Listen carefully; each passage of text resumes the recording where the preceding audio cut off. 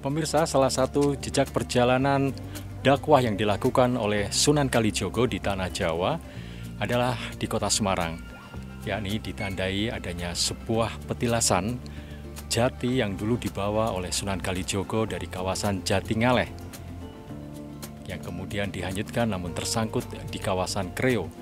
Dan kini jejak itu masih ada dan bisa dinikmati oleh para pengunjung yang berkunjung di kawasan Gua Kreo yang terletak di Kecamatan Gunung Pati, Kota Semarang. Seperti apa penampakan dari Gua Kreo yang merupakan salah satu jejak perjalanan dakwah Sunan Kalijogo? Ikuti perjalanan saya. Saat pertama kali kaki ini menginjak kawasan Gua Kreo yang berada di area Waduk Jatibarang, Kelurahan Kandri, Kecamatan Gunung Pati, puluhan bahkan ratusan kera ekor panjang langsung menyambut kedatangan saya. Meski terkesan liar, kera-kera yang memiliki kaitan sejarah dengan Gua Kreo itu relatif jinak. Sebelum naik untuk melihat Gua Kreo yang terletak di atas bukit kecil di tengah Waduk Jatibarang, saya menemui Pak Kasno, staf objek wisata Gua Kreo yang juga pemandu sejarah Gua Kreo. Oleh Pak Kasno, saya kemudian diajak menuju gua yang dihubungkan dengan jembatan sepanjang kurang lebih 50 meter menuruni tangga dan naik untuk bisa sampai di Gua Kreo. Gua Kreo memiliki kaitan sejarah yang sangat kuat dengan penyebaran agama Islam oleh Sunan Kalijaga, salah satu wali songo di tanah air. Nama Kreo sendiri berawal dari sebutan Mangreho atau Ngreho yang diucapkan Sunan Kalijaga kepada empat kera berwarna merah, kuning, putih, dan hitam saat Sunan Kalijaga hendak mengambil kayu jati untuk membangun masjid di Demak. Namun dalam proses pengambilan kayu tersebut terdapat kendala. Kayu menyangkut di tebing sehingga mengharuskan Sunan Kalijaga untuk beristirahat. Usai istirahat, Sunan Kalijaga bersama pengikutnya mengambil kayu dengan dibantu keempat kera itu. Saat Sunan Kalijaga hendak kembali ke Demak, keempat kera ingin mengikuti hingga ke Demak namun dilarang.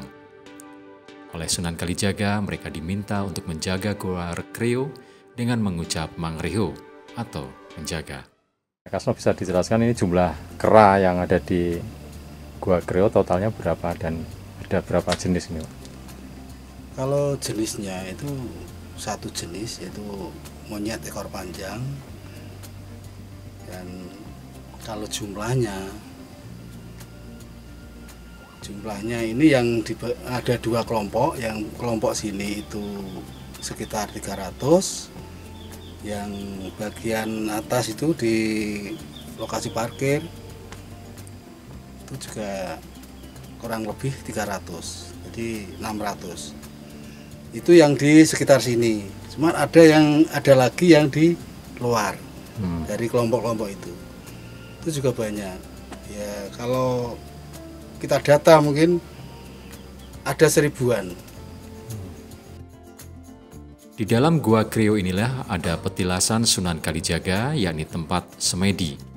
Saat memohon kepada Yang Maha Kuasa agar kayu-kayu jati yang tersangkut bebatuan dan tebing bisa terlepas.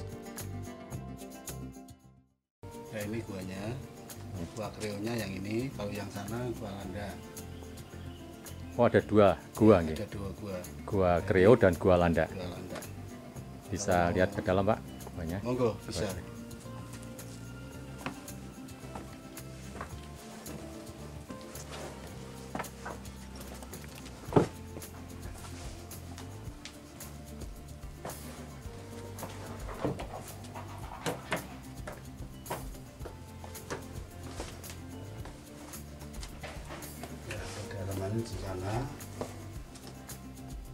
15 meter itu yang mentok itu. Terus ada tambahan yang masuknya jongkok ini ada 7 meter ke sana ke kiri.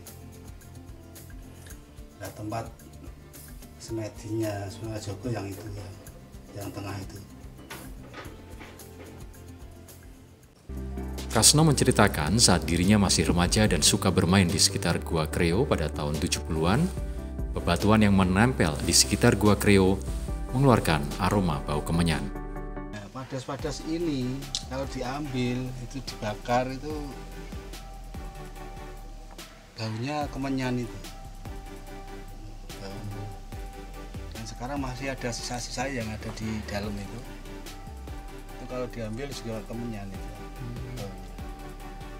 Nah, dulu kan cuma diambil yang ini di sisi ini